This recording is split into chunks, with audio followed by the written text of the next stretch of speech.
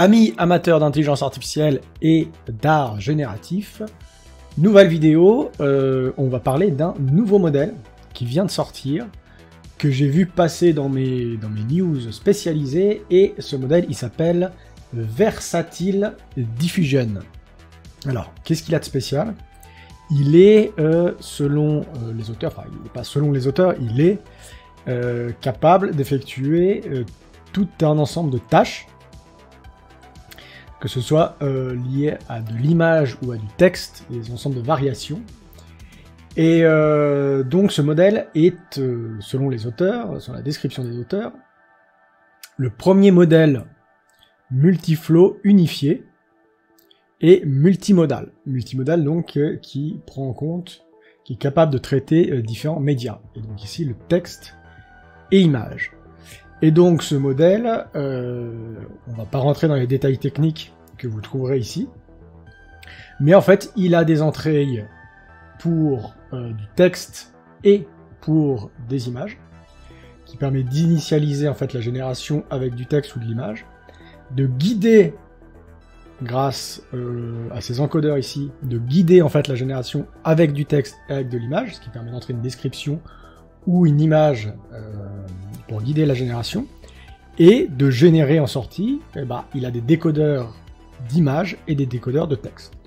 Donc on a possibilité de faire texte vers image, image vers texte, etc., etc. Ou texte vers texte pour faire de la variation. On va voir tout ça, on va voir les diverses, différentes tâches possibles avec ce nouveau modèle. Alors vous trouvez évidemment, euh, ça c'est GitHub, euh, GitHub c'est pour mettre du code des projets logiciels de développement euh, pour les développeurs, et donc ici on a tout le répertoire avec le code. Donc on a des modèles pré-entraînés et on a le, code en Python, donc de quoi s'amuser. Donc là on va ensuite faire des tests sur, sur Hugging Face, mais vous, comme le code est disponible et qu'on a des modèles pré-entraînés, on par la suite, dans d'autres vidéos, on va télécharger le modèle et puis euh, le faire tourner en local. Vous avez également ici le, papier scientifique qui est sorti, euh, il me semble pas longtemps, le 20 novembre. Donc là on est 23 novembre, donc moi je vous fais une vidéo le 3 jours après la sortie du papier. Euh, et donc les différentes tâches qui peuvent être effectuées par ce modèle, qui sont classiques. Hein. Normalement on a il y a, des, modèles qui font un peu euh, ces différentes tâches, chacun de leur côté. Mais là, on a un modèle qui est capable de faire toutes ces tâches en même temps, qui a été entraîné pour toutes ces tâches, et qui va être capable de les faire, euh, d'effectuer toutes ces tâches. Et donc, c'est la possibilité dans le futur d'avoir des systèmes totalement intégrés, qui vous permet de euh, guider de plus en plus, d'avoir de plus en plus de liberté dans la façon dont on va guider en fait la génération de l'image, que ce soit du texte, par peut-être la musique dans le futur, d'ailleurs c'est ce que veulent faire les auteurs, mettre de la musique, vidéo, 3D, etc. Donc guider la génération par une image, par du texte, éditer des images, etc. Donc, première tâche, c'est le classique, hein, texte ou image. Donc euh, on veut générer du texte, on veut générer une image à partir d'une description textuelle.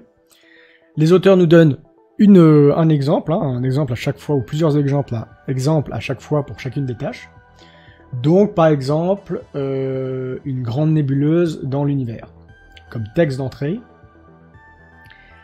Et euh, on, obtient donc, euh, ces images-là, comme exemple, générées à partir de ce, ce texte-là.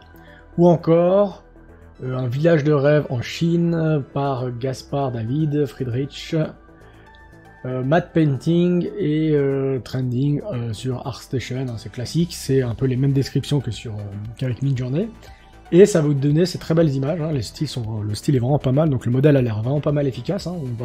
on, va, essayer dans le futur de, le pousser un peu plus loin, de le tester. Il semblerait que la résolution est encore pas très haute, mais peut-être qu'en l'installant local, on peut aller plus haut. Mais, donc il n'est pas capable de faire la tâche classique qu'on a un peu exploré ces derniers temps. Une autre tâche que peut-être vous, voyez ou que qui est possible de qui, qui, que Midjourney par exemple peut faire, ce qu'on appelle la variation d'image. Donc vous donnez une image, par exemple une de ces deux images, et puis le modèle il va vous sortir des images euh, proche en fait de cette image-là en termes de sémantique, mais euh, il va vous sortir des variations de cette image, un peu comme euh, comme Midjourney lorsque vous demandez des nouvelles variations d'une image. Donc là par exemple un astronaute dans l'espace, et ça vous donne plusieurs images d'astronautes dans l'espace. La photo d'un train, ça vous donne plusieurs photos d'un train, également un peu dans, le même angle, la même position, avec les mêmes propriétés. Donc ça, ces deux tâches, le modèle sait le faire. Ensuite, on a euh, le classique image to text. Euh, nous, on pouvait faire ça avec Stable Diffusion, mais euh, en utilisant ce qu'on appelle le clip, qu'on verra peut-être un jour dans une, vidéo de vulgarisation, mais qui a un autre modèle qui est, qui est placé à côté, et qui nous fait l'inverse. Mais si le modèle, comme il a des entrées qui sont textuelles et images, et des sorties qui sont textuelles vers images, eh ben, on peut donner une, image en entrée, et puis il va nous donner un texte en sortie. On verra qu'on peut très bien donner un texte en sortie, euh, en entrée, et un texte en sortie. Euh, et là, donc, par exemple, je vais donner une image. Je vais donner une image ici, et puis il va me donner plusieurs descriptions de cette image. Là, je vais donner cette image ici, d'une de maison au bord d'un lac. Et il va me dire maison, montagne, bateau, euh, quelque part près d'un lac. Mais il y a plusieurs variations, en fait, à chaque fois du texte. Et on appelle ça euh, la variation de texte. Et ce modèle est aussi capable de faire ça. Vous allez donner un texte, et il va vous donner des variations de ce texte-là. Donc vous allez pouvoir, par exemple, par exemple, travailler vos descriptions avoir une description euh, d'une image que vous avez envie de générer, et le modèle va être capable, vous allez donner le, texte à ce modèle-là, et il va vous donner plusieurs variations de ce texte, euh, ce qui, que vous allez pouvoir réintégrer ensuite à votre processus de, à votre processus créatif. Donc image to texte et ça inclut la variation de texte. Ensuite, on a quelque chose qu'on appelle le disentanglement. Alors, je sais pas comment ça se dit en français. Alors, selon le traducteur, ça veut dire démêlage, c'est-à-dire démêler une image. Et le principe du démêlage, c'est de prendre une image de base, qui est celle-ci, hein, qui est celle qui, est, très connue, une œuvre d'art très connue, et puis de dire, soit je peux passer, je veux séparer le style, soit je veux séparer la sémantique. La sémantique, bah, c'est la signification de, cette image, c'est-à-dire le personnage, une femme avec un bandeau bleu, etc., une robe de telle ou telle couleur. Et donc si je vais à fond sur la sémantique, eh ben, je vais séparer le style et je vais garder que la sémantique. Et donc je vais avoir une image réaliste de, du même, euh, de la même personne, avec les mêmes caractéristiques que j'ai dans l'image d'origine. Sinon, je pars dans le style total, et dans ce cas-là, j'enlève la sémantique, et j'ai quelque chose qui va ressembler au style de l'image d'origine, par contre, je vais peut-être avoir quelque chose d'autre. Je vais pas avoir la même personne, je vais pas avoir forcément même une personne. Par contre, je vais avoir le style qui va rester. Donc, j'ai la capacité de démêler le style et la sémantique. Ça peut être très intéressant peut-être dans le futur pour prendre un style particulier et ensuite rajouter une nouvelle sémantique. On va voir que c'est un peu, c'est un peu peut-être ce qui est, ce fait dans ce qu'on appelle l'éditable euh, euh, image to image to image to text to image. Mais d'abord, on a la double, le double la génération doublement guidée. Ici, c'est très simple, on va guider une génération par du texte et par une image. Un peu avec ce qu'on fait sur Midjourney lorsqu'on a euh, une image et puis un texte. Donc, on va donner une image, une Mercedes par exemple, avec une peinture à l'huile, euh, une peinture, une image d'une peinture à l'huile, et euh, bah, il va nous reprendre la même image, mais il va nous générer une image de cette voiture, comme si elle avait été peinte euh, avec de la peinture à l'huile. Donc je vais guider en fait ma génération par du texte et par de l'image. Et puis j'ai le fameux éditable image to text to image. Ici, c'est là où ça devient vraiment vraiment très intéressant. J'ai une image de base, j'ai une description de cette image, par contre c'est vraiment la description de cette image, et puis je la remplace par une nouvelle description. Et à partir de là, eh ben, le modèle il va me générer une image dans lequel euh, il va éditer en fait pour que ça corresponde à la nouvelle description qu'on a donnée. Donc l'exemple donné, c'est j'ai cette image avec une maison au bord de l'eau, la description une maison au bord de l'eau, je remplace par un grand château au bord d'un lac, et donc il va méditer cette, euh, cette image pour qu'elle soit très ressemblante, assez ressemblante à l'image de base, mais en remplaçant la, maison par un château. L'idée, peut-être dans le futur, c'est de dire, tiens, sors cette partie-là, et puis je veux la remplacer par... Euh, j'ai euh, un personnage, je veux la remplacer par un autre personnage. Ou je veux, je veux remplacer un fond. je décris l'image en disant il y a un fond avec un ciel, et je veux, la, je veux remplacer ce fond par je sais pas, un ciel nuageux, etc. Donc la capacité de modifier une image de manière totalement textuelle, par une description. Donc ça, c'est toutes les tâches dont est capable le modèle. Et nous, on va voir, eh bah, si, euh, si on l'utilise, qu'est-ce que ça donne? Alors, vous avez sur Hugging Face la possibilité de tester ce modèle. Donc, Versatile Diffusion. On peut le tester sur Hugging Face, mais nous, dans le futur, bah, on, prendra le code, on prendra les modèles pré-entraînés, puis on mettra ça en local, et puis on s'amusera avec. Euh, et ça, ce modèle-là, est de nouveau, il est sorti il y a trois jours, hein, donc on va être vraiment à la pointe, et puis on va vraiment essayer d'anticiper un maximum les changements dans ce domaine-là. Euh, vous avez ici les différentes tâches possibles avec le modèle. Donc chaque fois vous sélectionnez la tâche que vous, souhaitez mettre, euh, vous souhaitez utiliser. Donc on commence avec texte, text to image, hein, donc euh, générer une image à partir du texte, hein, la tâche classique. Et on va, on va mettre, alors on peut mettre aussi une image, hein, on peut mettre un texte et une image pour faire de la, de la, la génération guidée. Mais on va mettre tout simplement un chat magique avec des super pouvoirs euh, volant dans le ciel.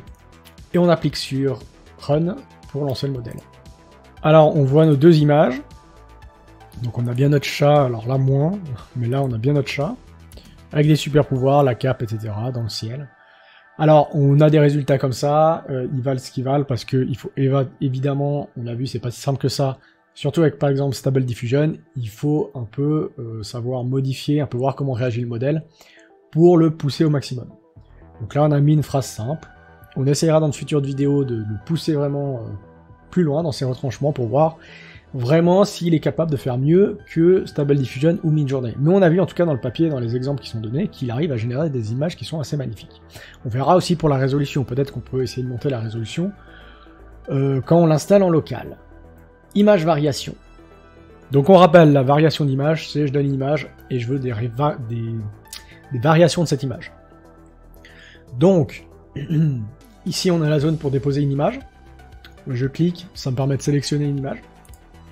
Alors je vais sélectionner un portrait de, un portrait de moi, et donc je veux une variation de cette image. Et donc je clique sur Run. Et donc on a une variation de ces images, donc on a euh, une personne. Alors, il faudra peut-être le passer dans le la restauration du visage parce qu'il a quand même des yeux bizarres. Euh, mais on a une variation avec quelqu'un qui a un peu les mêmes caractéristiques. Euh, le fond qui est un peu similaire, le t-shirt qui est similaire, donc on a bien une variation d'image. Le visage est assez bien fait hein, par les yeux. Le visage est assez réaliste. Est-ce qu'on fait un second test? Voilà, j'ai cette fameuse photo de chat que j'avais je sais plus si j'avais généré pour un, précédent tuto ou si c'est un exemple sur internet de Stable Diffusion. Mais bon, bref, on va demander une variation de celle-là. Ça prend que quelques secondes, hein, c'est assez rapide. Et on a cette variation, donc on a un chat un peu bizarre avec les yeux, mais là il est, il, est pas mal, il est pas mal. Euh, qui est dans un style assez similaire, avec les mêmes caractéristiques. L'image semble être un peu de moins bonne qualité, mais c'est peut-être parce que la résolution est plus basse ou parce que ça n'utilise pas... Euh, les ressources sont assez limitées, je pense, sur cette interface. Donc peut-être que si on l'installe en local, on aura de meilleures performances. On, essaiera de, voir s'il peut faire mieux. Je pense qu'il peut faire mieux. Clairement, l'image n'est pas très nette, donc peut-être que c'est une question de résolution. Euh, image to text. Et eh ben, on reprend notre image précédente, et puis on va demander, en cliquant sur Run, une description de cette image. C'est très rapide, c'est plus rapide qu'avec Clip. Et donc le modèle nous dit un chat euh, portant des, euh, euh, vêtements avec des poils et un, chapeau. un chat chou avec des symboles sur un chapeau et un chat chapeau. Bon, ça veut pas forcément dire quelque chose. Hein. Et donc on a plusieurs descriptions, on a plein de descriptions. Un chat qui ressemble comme un téléphone. Bon, Les descriptions sont pas forcément euh, top top. Mais disons que l'essentiel Il faudrait peut-être comparer Clip pour voir si euh, les performances de ce modèle comparées à un, clip simple. Euh, prenons la, première image précédente, là, de moi, et voyons ce qu'il nous dit. Donc de nouveau, mon portrait, Run. Un jeune homme souriant, avec son fils. je suis seul sur la photo, là. Un homme souriant comme son jeune garçon. Bon, les phrases veulent veulent pas tellement dire quelque chose. Je les trouve clairement moins bien formulées et cohérentes et euh, comment dire et euh, crédibles qu'avec Clip. Donc là peut-être que que les performances sont moindres, mais euh, attendons aussi dans le futur de modèles mieux entraînés. Hein. On rappelle que Stable Diffusion ça a coûté 600 000 francs je crois pour entraîner ce modèle. Donc on ne sait pas en fait les performances, euh, l'investissement qui a pu être fait dans, le développement et dans l'entraînement de ce modèle, donc on verra. Texte variation. Donc je prends mon, ma description de ma première photo, là, un chat magique avec des super pouvoirs euh, volant dans le ciel, et je clique Run pour avoir une variation de cette description. C'est très rapide et il me dit un chat magique utilisant euh, Wand, je sais plus ce que c'est une wand. Ah, c'est une baguette magique, utilisant euh, une, grande euh, baguette magique volante dans les airs, volant avec des, des, lumières autour. Et donc à chaque fois, là j'ai quatre descriptions, quatre variations différentes, qui sont beaucoup plus longues. Donc, on peut imaginer que je puisse en générer un peu à l'infini. un magicien utilisant un utilisant un, chat magique, volant, etc., etc., etc. Bon, les descriptions sont un peu bizarres, mais peut-être euh, dans le futur on prendra euh, un texte, on fera les variations, puis on générera plein d'images euh, correspondant à cette variation. Mais intéressant, intéressant. le démêlage. Ah, le démêlage. C'est là que ça va être intéressant. Alors commençons avec euh, avec le chat. On a notre chat là, et puis, donc, si je pousse vers le positif, j'ai uniquement le style. Donc je clique sur Run pour euh, extraire le style de l'image. Donc j'ai seulement le style. Bon, c'est un style qui est pas terrible. bon, les images sont nouveau floues, hein, mais ça, question de résolution. Donc j'ai ça. J'ai ça si je mets que le style. Et si je mets euh, si je mets seulement la sémantique, voyons voir. Voyons la différence.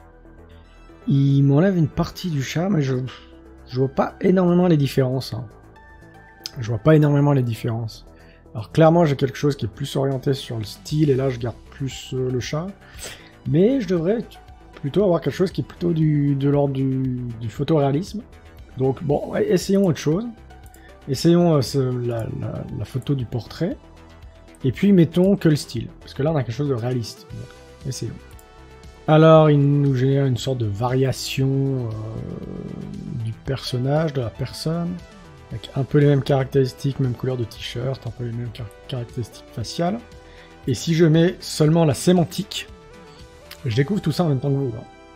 Euh, ouais, on a, on a une image qui est, euh, qui est plus proche de ce qu'il y a vraiment sur, euh, sur l'image d'origine, avec un visage qui est plus similaire, le t-shirt qui est plus similaire, le fond qui est, très similaire aussi. Euh, du coup, c'est peut-être parce qu'il y a aussi pas tellement de style à extraire, par contre la sémantique est clairement là. Est-ce que j'ai pas une autre image euh, pour essayer? Voilà, j'avais une des toutes premières images que j'avais générée avec Midjourney, version 3. On essaye avec euh, le style. C'est assez rapide, hein, il est assez rapide. Ok, donc j'ai un peu une image avec un style euh, vraiment différent, qui est, plutôt pas mal. Plutôt pas mal. J'ai un peu le, le même, euh, la même image, avec un style différent, clairement différent. Et si je demande seulement la sémantique, Ouais, j'ai quelque chose qui est un peu plus dans le réalisme, mais qui est toujours un peu dans, un style euh, cyberpunk. Ok, c'est, je pense que ça demande plus de, tests avec des images différentes pour voir un peu. euh, ça, permet d'avoir un peu des- des variations, mais des variations, des variations sur le style et des variations sur la sémantique. Ok, bon, on découvre ça ensemble et puis on verra dans le futur avec des euh, des pré-entraînements différents et puis en local on verra ce qu'on peut en faire euh, un peu plus pour l'instant on screen un peu on regarde un peu comment ça marche. Euh, double guidage. Donc j'ai une image et j'ai un texte aussi qui permet de guider Euh, je vais reprendre le portrait par exemple et je vais mettre euh, un alien euh, dans une base militaire. Et vous pouvez mixer entre 0 c'est que l'image, 1 c'est que le texte, donc on va mettre euh, 50-50, et run, on génère l'image. Alors je vois pas trop l'alien, à part qu'il a des yeux bizarres. Euh, J'ai plus une variation en fait sur, euh, sur l'image. Si je vais plus vers le texte, voilà, 75, et je génère, j'ai plus quelque chose. J'ai- la base militaire, j'ai le visage qui ressemble un peu, euh, qui commence à ressembler un peu à un extraterrestre, mais j'ai le côté militaire, tout en ayant l'image, hein, toujours de base. Et puis si je pousse à 0,9, et ben si je mets à 0,9, j'ai euh, plus tellement euh, l'image de base qui est qui reste, mais j'ai clairement, euh, l'extraterrestre et puis la base, militaire.